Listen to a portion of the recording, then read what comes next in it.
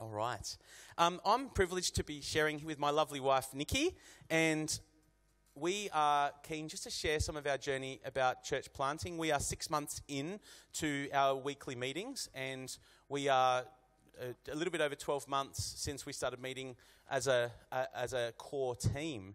And so we've learnt some things, and we're le- still learning a whole heap of other things. We started with nine adults um, in our core team, and um, yeah, and last Sunday I think we probably had around 90 men, women, and children that shared a meal after the service. And we've got um, probably about 40% of our church would be children and about 60% adults. And a number of people, part of our church, that if it wasn't for our church plant, um, there would be dozens of people, if it wasn't for our church plant, they would be going nowhere.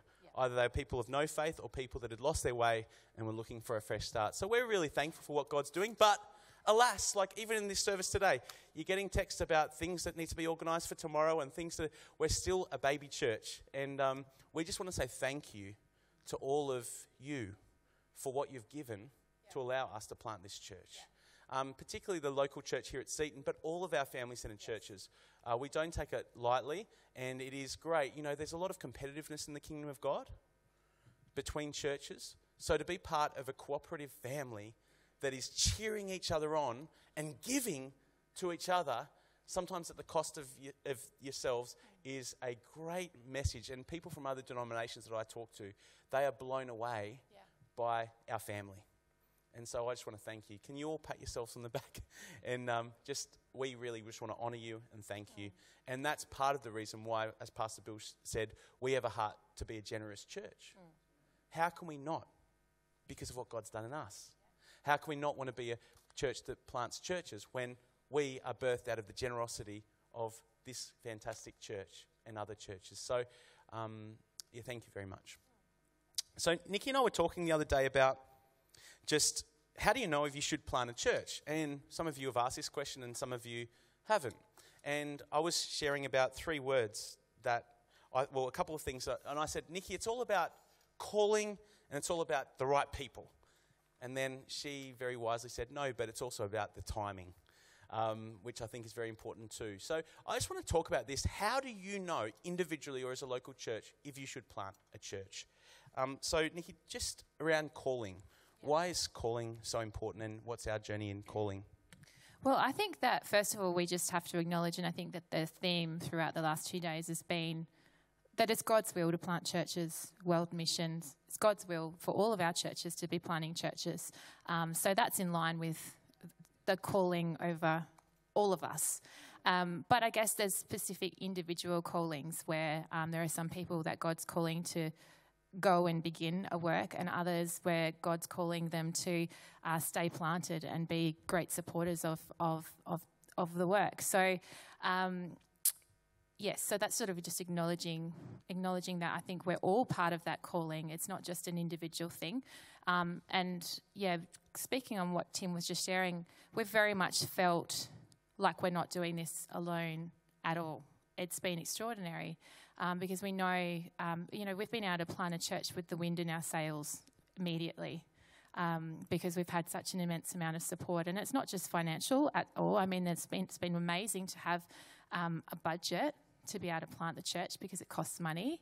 But it's not just about money. It's like we've had so much support in prayer. We've had support in people um, uh, sharing their gifts, coming up um, and supporting us, particularly in our kids' ministry, where we've just been from day one totally overwhelmed with the need there.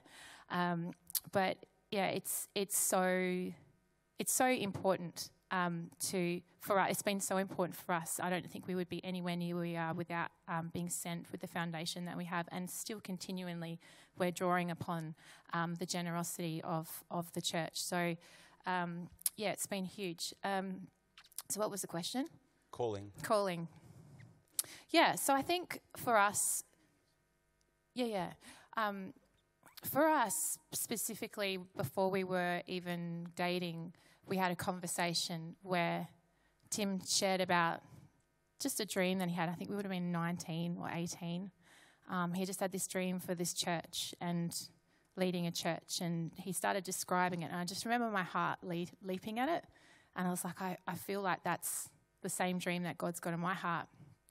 but when you're young, you kind of don't really know what that's going to look like. So we always thought, and had the back of our mind, that God might use us to plant a church one day. But then um, for a number of years, it's just been a process of just going, okay, well, we're available to you, God, and use us with what you want us to do. And so probably we got to a point where we thought, well, maybe the actual pioneering a church wasn't going to be us. In actual fact, we were really happy and really planted here at Seaton and did not expect for God to actually call us out.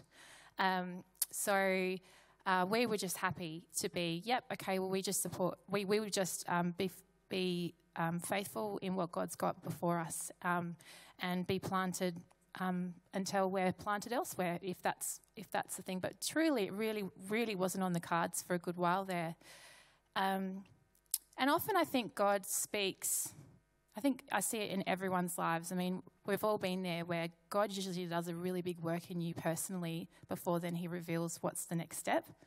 And I know for me personally, um, there was, um, some of you know our family circumstances, but we've gone through some really difficult things um, with just raising our small children. And um, not only was that difficult, but God did a huge work in my own personal life. Um, and I know that timing is everything because he, I didn't know what was ahead, but if it hadn't been through for those number of years where um, God had to really really do some heart surgery on me um, that has now made sense and it's fortified me personally and our marriage and um, prepared us for the season that we're now in. Um, so uh, it was painful at the time and it was long, but I'm so grateful for it because I can now so quickly see, oh, that was God's hand all over it. He was preparing us for something so much bigger. Um, so the calling's been there, but I guess just a um, I think we just have to be open to what you know God has before us because timing is everything. But then, very specifically, God spoke to both Tim and I on the first Sunday of 2017, last year, no, the year before last. Um, yeah, the first Sunday I walked in here at the 10:30 service. Tim had been there here earlier for the 8:30 service, and I just nudged him and I said, "Babe, I feel like God just spoke to me." And sometimes I do that. And Tim just rolls his eyes because it's like God's always speaking to you about something, and it's usually not God. Sometimes. Um, but I nudged him, and I was just like, I really feel like God just impressed from my heart that this is your final year here at Seaton. And it was quite shocking um, because it wasn't, again, wasn't the plan, and we were very happy here. Um, and then I was shocked when Tim said to me, I felt the same thing when I walked in earlier today. And so at this stage, obviously, no one knew about it. And we were just like, wow, this is huge. What are we going to do? And, um, and then over a period of um, weeks and a couple of months, very short period, um, God confirmed it in a number of different ways. So in the end, it was just the push that we needed. We just knew, yep, okay, God's, God's saying we need to start something. We don't quite know where. It wasn't like go south or whatever, um, but we knew that this season was coming to an end. Um, and uh, yeah, very quickly, you know, knowing that God's spoken, even though we didn't know what it was going to look like, it was actually really exciting because you're like, wow, this is real. And then there's so many confirmations all the way through. I mean, even particularly when we first spoke to Dad about it, how he responded was a huge confirmation to see his heart for the kingdom, not just for the local, like for um, his own congregation here. So, yeah. And the calling is, is vital, and the timing for us as a family, I think, like Niki said, um, just even 18 months earlier, it was off, what was off the cards became on the cards really quickly. And I just want to say that to everyone here. There are things that are, are a, not a no in your life. It's just a wait. Yeah. It's just a wait. That's it. Mm. And so if God has spoken to you, it's not a, and, and it hasn't happened, it's not a no, it's a wait. Yeah. And, um, and so I think calling is important. God did call us a long time ago, and then He called us in a more an, an urgent sense and, and gave us this burning desire that now is the time. But then I think the people, like Niki said, I think the geography of where we're planning the church, it was already obvious because God had prepared, God was already at work. God already had the Paislak families positioned uh, in Reynella. He already had the Molinar family in Reynella. He already had the Van Heerdens in Sheidow Park. They were all part of this local church with a heart and, and very quickly all said, We want to be part of this. And so it wasn't like, let's speculate as to what God's doing. It was almost like a, God's already at work. Let's be part of what He's doing. And so essentially, where we're meeting now, and, and we've got another family, fantastic family from this church that, that has shifted down into the Hort Acres there at Seacliff. And so if you draw a circle around where our core families lived, that's essentially where we're meeting now. And so God was at work, and it was just about the timing to wake us up to what He was doing. And I think sometimes that's how God speaks. He, he opens our eyes to what is, He's already doing. And so, even with this, what Bill's talking about in Greece, it's not about, well, Greece is a good idea. No, no, actually, God's at work. Yeah. And our job is to interpret what He's doing. Um, I think one of our greatest fears in stepping out, um, you know, having one child on the autism spectrum, another child that um, at times is um, just, well, at that time was un- unmanageable um, in terms of behaviour, um, we were really worried about what planting a church would do to our kids, yep. taking them out of a stable environment. Tell, tell us, Niki, just about how it's been for our kids and our family planting yeah, a church. I mean, I think uh, it's been probably one of the great mercies um, in this in this thing is that seeing that God has brought special people into their life in the kids ministry. Um, the even though the kids team is really really stretched, um, there's such a genuine love for my kids, and I see that they look out for them big time.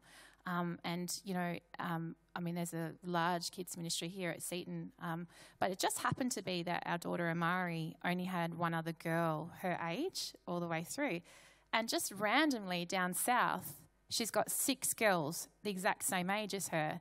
And so she's just sort of got this little gaggle of friends, which has just been amazing. And just I feel like that's just a little bit of a mercy there just to help her along the way. But what's been great is also seeing um, they've actually had to see us step out. So I was even um, I was in the car with Amari on Sunday and I didn't realize I said it in front of her. And I was like, oh, I'm so tired. And I'm driving to church and I'm like, I'm so tired. We had a big weekend and other stuff going on. And and Ma- Mari's like, Mom, I'm so tired too. And I said, Yeah. And then I realized, oh, I've got an audience here. She's seeing seeing this. And so um, I was just like, you know what? We're going to have a great Sunday. It's going to be great. And, you know, we're going to get there and we're going to, you know, as soon as we see people, God's going to give us energy.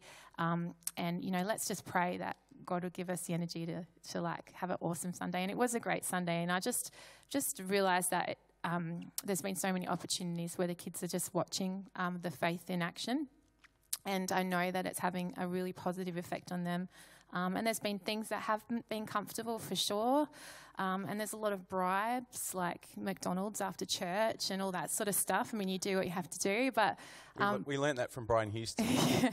he said, "If you if you want your kids to love church, yeah. take them to Macca's after church." After. I'm like, I received yeah. that word. But certainly a big, uh, certainly a huge thing, and I think that's a learning thing um, growing up in a ministry family, but also, you know, we've been in ministry for a long time now, um, making sure that we um, leave the baggage not inside the house, that we leave it before we get into the house. And we're really careful about the way that we speak, especially when we're processing big emotions, because you've got to talk, and the Tim and I are you know, having to process a lot and chat about things, but we're being super careful and hopefully we'll continue to be really careful about the way we speak because I know that the kids hear it all.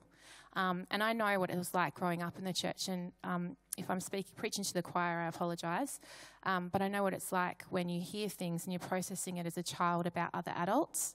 You actually don't hear the real truth. And so what you think, you actually take on hurts and um, disappointments on behalf of your parents because you might hear something, um, but you don't know the whole story, and um, that can be quite damaging. So I just want to encourage you in anything that you do, just be be aware of the audience that's watching you. So I mean, the bottom line is seek first the kingdom of God and His righteousness, and then your needs will be given to you, not your wants, but your needs. And I think the flourishing of my children is a need yeah. that I have. Um, and, and God has been faithful that my kids are okay. Yeah. They're doing better than what they were a year ago, and I give him thanks. I think Niki and I argue less about church now than when before. This is a radical idea. Um, we used to argue a lot, and we still argue. I mean, I married a Greek woman, and I have had to meet fire with fire. Um, you know, and some of you in this room that have married fiery women know what it's it. like. And some of you have married fiery, fiery men, and you know what it's like. You have to contest for the things that are important in your relationship, and sometimes it's not all easy. Is that true? And, and so we, we have some fiery conversations, but, but I think the thing about planting a church is we are united. In the mission that God's given us. And we are serving together. And so while there might be challenges, we are, a, we're a team, yeah. and that is a blessing. And so, um, so, so I think actually for us, in many ways, that, that if you've been serving in ministry for a long time, God is preparing you for new challenges. Mm. And when you go through the new challenges, you might realize that you have a resilience through what God has taken you, that you can actually do things and think, wow, I thought this would be nearly impossible, yeah. but He's equipped me. He's equipped me. And actually, if you've been serving for longer than five years, you have more experience than Jesus' disciples. Mm. You, you actually have, you have runs on the board. And God has given you the ability to do things that you don't even know you and some of us and so planning a church like yeah it's really hard but ministry is hard and and it's not like this radical do you know what? It's all jesus church. The local church is where it's at. And so whether it's a new church or not it's all, all different problems but it's all hard and we all need the power and presence of the holy spirit. And god will attack our marriages whether we're in a church plant or not. So um, so don't allow fear for family to distract you from saying yes to a new opportunity in pioneering. Church planning, pioneering a new ministry, pioneering an outreach, going on a mission trip, anything like that. Um, so, what have been some uh, challenges in the last 12 months, or some areas where you feel like um, you've been tested? Um, well, I think um, I think the greatest challenge or um, thing that I felt, I've really felt the weight of stepping into is um, taking hold of the spiritual authority that goes with leading in a church. Um, the only way that I can describe it is it was it's a similar feeling to what it was like becoming a mum.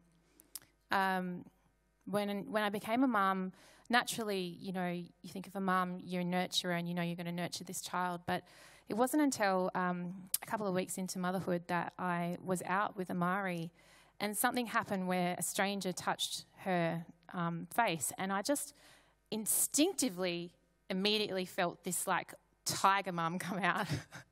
sort of almost this ferociousness, and I had to hold myself back from overreacting big time because someone touched my baby, although they shouldn't have.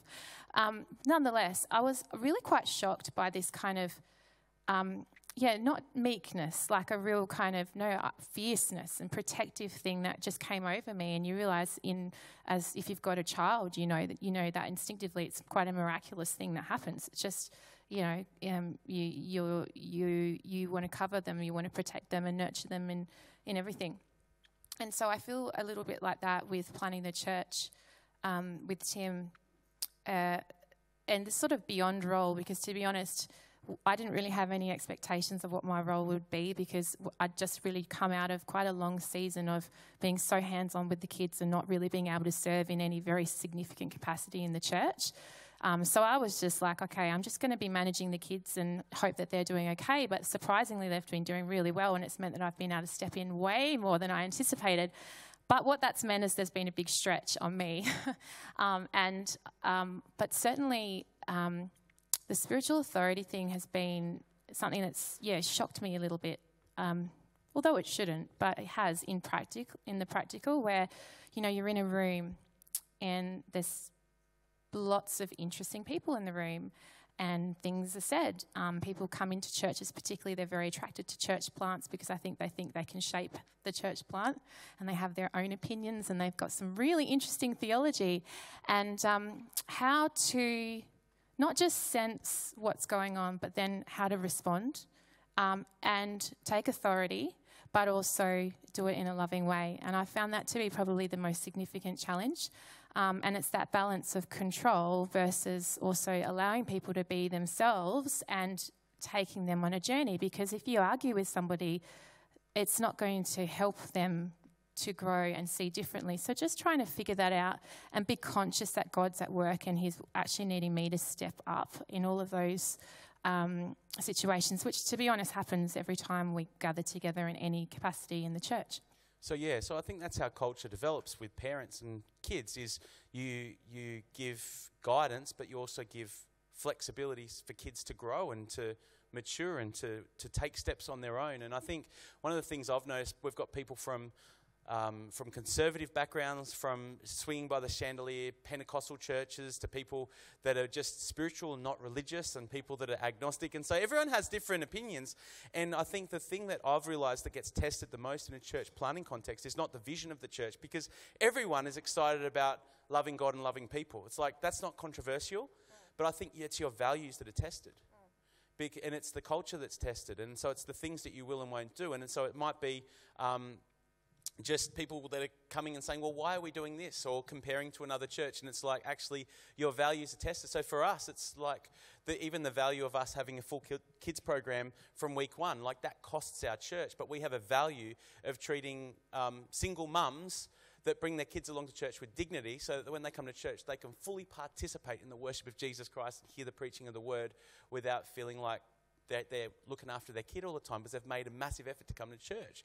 It's a value of ours. It's a value of ours that we want children not just um, sitting, learning, but actually learning what it means to worship. And so we're trying to teach our kids' church how to have worship. They have worship last week.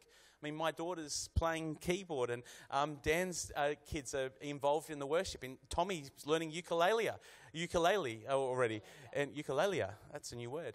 Um, echolalia. Um, glossolalia. Um, glossolalia. Um, and, and, and so I think even things like excellence, like, um, you know, some churches have a value of, oh, our children's ministry is the kids just play with crayons on the floor under the chair. It's like, that's fine. But we actually want to have a kids' ministry of excellence where we give our very best because kids are not peripheral to the mission of the church, but they're central to the mission of the church. And so your values are tested. The way you talk about other churches, the way you talk about people in the church that you have disagreements with, the way you have issues with that person that's really distracting on a Sunday, the way you talk about them, it tests your values. And people who come from other churches might not hold the same values. So that's where I think it's, um, it's great. And it's great that in our core team we have, um, fam- we have families from, uh, from Seaton Christian Family Centre. We've got a couple of families from the Hills Christian Family Centre. And the Christian Family Centre values are strong but they're unique. So I think that's been really uh, encouraging. Um, Niki, do you want to tell us how we've got word out about our local church to the people in the south of Adelaide? Yeah, someone just said to me the other day when I invited her to church, nope, you can't market me. I was like, I'm not in marketing you, I'm just inviting you. anyway, it was, maybe you just had to be there. It was kind of funny. Um, but um, yeah, so essentially, um, yeah, it's a really funny one how you get word out because it's a whole new world. Um, and the reality is, the front door of your church is your online presence. Um, if you think about where you go anywhere, if you haven't been there before or you're not going with someone, you're most likely going to check it out online. You're going to figure out exactly where it is. You're going to do your Google Maps and you're probably going to read about it, you know, like a show or even a movie. I mean, I can't even go to a movie without him IMDBing it and finding everything about it. I'm like, can't you just live on the edge? Can't you just like, no, it could be a flop, but you know, so, so you, I think like just, it's not, it's not a question, it's a reality. Your front door of the church is your online presence. Website, Facebook in particular, and, um, and uh, Instagram um, as well. Um, it seems to be that Facebook is the way that most people engage. Websites are for like the kind of people who like to do their research. So people who are really interested are going to get on a website and read all about your vision and values. But 98% of those people are going to be people that check out your Facebook page. So Facebook's really important.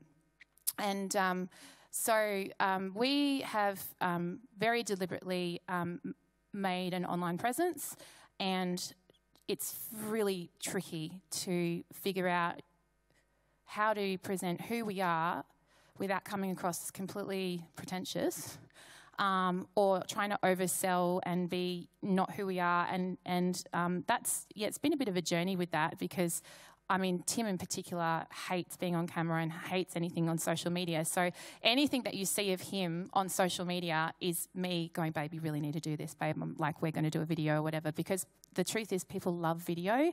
And um, so we've deliberately done quite a lot of videos because we've just noticed that the engagement, um, and you can actually track. Like four times higher oh, a still image? No, least. so I think it's something like 12 times higher if you do a video as opposed to a still image um, as far as real close engagement, particularly sharing and that kind of thing. So um, we just see it as look, it's the front door. It's not presenting something that we're not, but it's just saying, I know that it's a little bit like what used to be putting a flyer out um, and sending them out on a letterbox drop. The chances of somebody getting that flyer and going, oh, wow, I'm going to go visit that church, It's pretty low. But what that does is it gives people a face and they go, oh, I've, I've, heard about that church. And then they have another interaction where they hear about the church again. And then it sort of adds to all of this, oh, okay, maybe the universe is telling me I need to go to church or whatever. So and, um, and we have people in our church today that yeah. the, the, way they found out about a church is through social yeah. media. So it's yeah. It's a small piece of the puzzle. It's it's a tiny piece of the puzzle. I'm not. Social media is not going to. If you if you're like our social media is really terrible, don't worry. To be honest, just you can improve that, but it's not. It's not the be all and end all because people need personal connection, and people come to church because they're invited by another person. It's simply that. Um, the majority of people that have come um, so far into our church have been 98% um, invited people. And so, whilst we've deliberately done an online presence, we've done nothing else as far as marketing um, other than our focus and our language and the, the message every week is guys, this is about your everyday life. This is about um, having conversations about God and inviting them into your world, um, and also bringing them along to church or a gathering or whatever's going on. So um, we, yeah, fully embrace the online reality, but fully embrace the fact that it's actually about personal connection. That's more powerful than anything.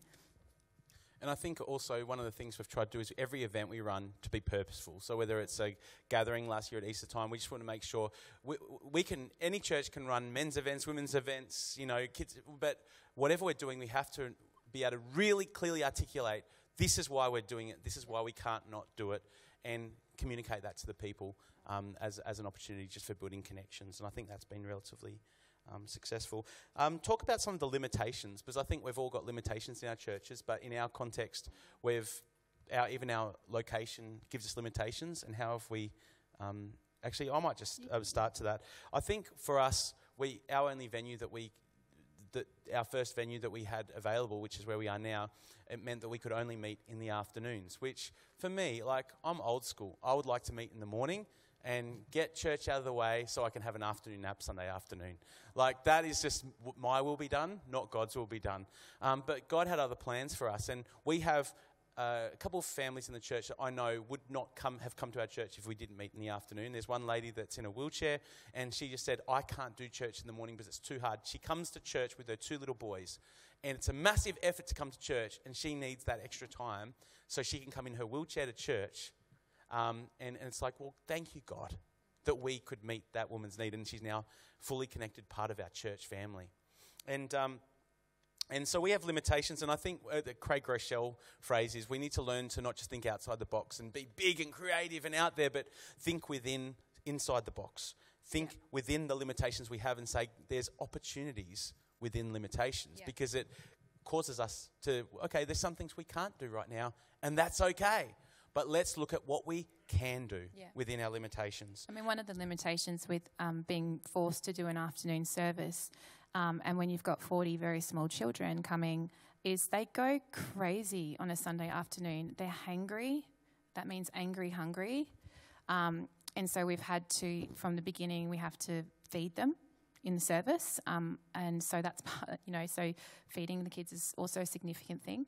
Um, and yeah, just figuring out ways to make it work um, so that hopefully families aren't going home completely wrecked after church. We have we have kids come to our kids ministry from and that like they might have gone to to Edge or Seeds, the big the biggest churches in the south of Adelaide, and they're like, "We love this kids ministry. It's amazing. They gave us a sandwich." It's true. And it's amazing. Like there's a whole range of areas where we can't compete, but in our, but in our church, there's things that we can do better than anyone or different to anyone. Yeah, it's different. And, um, and so it's provided opportunities for us and with our limitations. Um, you know, in our, we've got you know, a very, very small band, but we have an acoustic feel and we have a fantastic, um, we have fantastic worship. We don't have a full band, but we work within our limitations. Um, yeah, and I think my encouragement to you is that, that it's okay that you can't do everything right now. Maybe God doesn't want you to do everything right now, but what you can do, do with excellence, and God will use it. Um, I I just want to say, I think it's been an absolute joy to have so much support and encouragement from uh, being, in being sent out, but we have not been controlled in any way. Yeah. And so we are free to outwork the mission that God's given us. Um, it, it's like when I talk to people from other denominations or other movements, it's like, how good is it in our system that we have Norm Reed in Hobart and we have uh, Rebecca and Ben in Alice Springs, and all of our churches have this incredible freedom to, um, to outwork God's mission in accordance with the values that He's given us. And we have support and encouragement, and there's checks and balances. But I just think, isn't it great that we have so much freedom? Yeah. That, that we don't have people telling us no all the time, but we have godly checks and balances. And I just think, if ever there was an environment that was conducive to us planting more churches, the CFC churches. This is an environment where we've got to be careful saying God's no for him. Yeah. Because I think He's given us a platform and a foundation to say, yes, if God has given you a vision and if you've got people and if the timing's right, you need to say yes because there is support and there is encouragement. And I'm with us in the early days um, when we started, we had, you know, a handful of people coming down to help us with our kids' ministry from Seaton. But you know what? Even if you want to plant in a remote area, there will be support. Like, I'm so thankful. It's been hard work, but I'm so thankful that um, Estera and Tom uh, Daly have just moved up to Alice Springs. And it's like, it's hard work because a lot of couples have been tapped on the shoulder over the years to move up to Alice Springs. But do you know what? We, we are a family. We do care about each other. I was telling Rebecca before, we pray. Out, we're a new church plant in our prayer meetings. We pray for you guys. We pray for your property. We pray for your youth ministry. And it's like, you know, no, most churches don't have this. I was talking to the local um, Baptist pastor where we meet, and it's like, mate, they have arguments and power struggles within their own church. And here we are, we have a family cheering each other on. We have an amazing platform to plant churches. Um,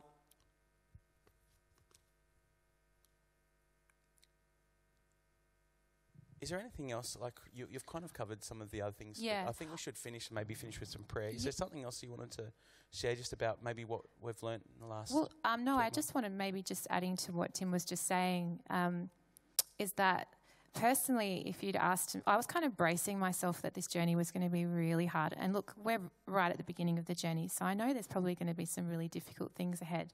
I'm not um, immune to that, but um, I expected it would be much harder than it's been.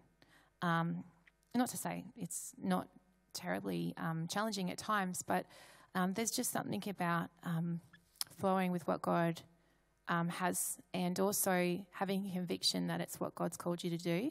Because I think you can do anything. Um, and God also gives you the capacity to manage it and not just bear it and go, okay, I'm just bearing it, but actually thrive in it. And so I just am so conscious of anyone in the room. Um, I, I, I know there's people who are leading churches in the room, um, and I trust that through the conversations over the last two days, that maybe there's just been a spark that's gone, yeah, let's believe for our church to actually um, give birth. Um, and I do want to say that, like Tim said at the beginning, because of the faith of some of the people that have stepped out of the boat, they were serving, some were serving, some were not, even here at Seaton. Some weren't even attending regularly. They've come and stepped out of the boat, and it's not just us, but them. And they, God is using them and growing them as well. So it's actually been an opportunity for a whole another group of people to step into a calling that God has for them. That in a bigger church, um, in that they may have just sort of sat back a little bit. And um, so in your churches, trust that actually there's going to be people that may not be people that you would imagine would be running whole ministries, but given that opportunity, they might step up. So, um, so just like hopefully that's inspiring because we've seen that. We're like, there's people that are part of our church that were like once every six weekers here at Seaton that are now like there for the whole day every week. um, serving and not only serving but growing. And I think that sometimes that experience of doing something in a small small environment is it's great for people's faith. Um, so so there's that. Um, and then also for anyone in the room, if you're feeling like there's, you know, as soon as church planning spoken about, you just feel that tug on your heart, then that's the Lord. So just trust the timing. God will make it really clear. Um, I do believe that He plants you in places, He plants you sometimes, and you need to, to grow. um, and that I don't recommend church planting if you're not um, coming from a place of being whole. you need to be strong emotionally and spiritually. Um, if you're bleeding all over the place, it's not a good idea to plant a church um, right now. But just let God do that work in your life, and then you see what door He's going to open up for you. So I just want to encourage you that if that tugs on your heart, take hold of it and trust God with the timing. Can I also just say the future, like the, ch- the influence of the church in our country is diminishing more and more. The future is not going to be solved with one service on a Sunday morning, particularly. So we have to be more courageous with our innovation. Not just innovation for innovation's sake, but the previous models are not. So, so the, the idea that we have to build a big auditorium to get everyone in on a Sunday morning, I don't know many people that are doing that anymore. Because let me tell you, you can be a, ch- a small church and God might still want you to innovate and start a Friday night gathering because there's people in your church that cannot come on a Sunday morning, and we need to be courageous enough to say yes. Like we're, we're um, in faith, we're talking about, you know, if we are able to move to a, a new venue to start Sunday morning, I, I want to do Sunday night straight away because I, how dare I say no to that woman on the in the wheelchair? How dare I say this is not a church for you? I will not do that. And the other thing is, I've talked to our young adults, and they hate Sunday mornings and, the and, we've, and we've, we, we had hardly any young adults, and we started an alpha group, and we're trying to reach these young adults. And I'm like, oh, no, we're going to become a, a Sunday morning family church, and when you guys are still sleeping in, and all your friends are sleeping off their hangovers. Are we really serious about reaching their friends? And, and um, I was talking to Don Redden from the City Light Church. They have um, probably about 40% more people in small groups than they have on Sunday gatherings. And a lot of those people are young adults the, the way to build family and to build connection and relationship moving forward, we have to be open to new models of the, you know, the, the, same gospel, but new models to reach more people. And I don't think it's going to be getting everyone together on a Sunday morning as much as I love that. As much as I love that. And I'm, you know, just talking to Ben and Rebecca, it's like, man, you could have a building of 150 people and do repeat services and be the largest church in Alice Springs. It's like we need to start stop thinking about um, why we can't do stuff and why we can do stuff. Because, like, even Dan and I, like, we probably, there wouldn't be a week or two weeks that go past where we don't talk about church planting. And it's just like, you know, Ian talked about daydreaming. Half of it's just daydreaming. It's just like, whoa, what if we did this or what if we did that? But you know what? Every now and again, a what if or why not, you find stuff, oh, well, maybe God could do this. Or maybe this venue, maybe God could be in this venue, or maybe actually God's drawing people from here, maybe that could be a future church plant. So if you actually look for it and you say, God, I, I, I want to be part of planting churches, I think God will start showing you opportunities. We've got a family that's um, from Aldinga, and I was talking to them about starting a home group, and I said, "Hey, yeah, if you start a home group, that's great, and if it gets big enough, can, we can turn it into an outreach because I'm sowing seeds that this is not just about playing church. This is about reaching communities for Christ." And so I'm trying to sow those seeds to the church because who knows where our next church plant will be. If, you, if God's spoken to you, let us know. And we're not trying to be presumptuous. We're just trying to be about the New Testament pattern. The Lord added to their number daily those that were being saved. And, um, and non Christians are not going to commute half an hour to, your church. So let's go to where the people are and let's believe that God wants all of our churches to reproduce. Amen? Can we just stand to our feet? And if God has spoken to you, maybe about church planting, and this could be about supporting someone, or it could be about going, can we, can you just, if God has been stirring something in your heart, it might be an idea, it might be pioneering a new service or pioneering a new congregation, because one of our values as the Christian Family Centre churches is proactivity. And the, the word I like to use is pioneering. Pioneering is in our blood. If God has been stirring you about pioneering, it might be a long term thing or a short term thing. Just put your hand up now, and I just want to pray for you. Put your hand up right now if God has been stirring you. Thank you, Lord. If God's been stirring you about pioneering, put your hand up. And if someone's got their hand up, can we just gather around those with their hands up and just let's just lay hands on? Thank you, Lord. Father, we just thank you so much that you are rising up a heart for pioneering, a, a, heart for risky faith in the Christian Family Centre churches.